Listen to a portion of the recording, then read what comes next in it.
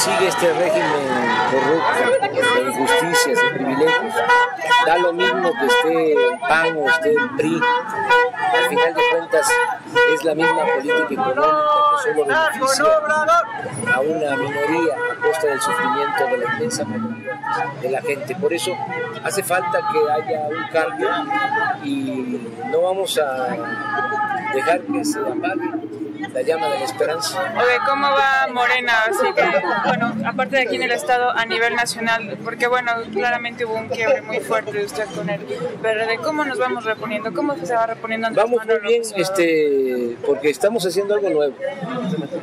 Un partido, porque Morena se va a convertir en partido, se van a cumplir con todos los requisitos que piden para que Morena sea partido político y va a ser un referente moral, un instrumento de lucha al servicio de la sociedad, al servicio del pueblo, no un instrumento para beneficio de dirigentes.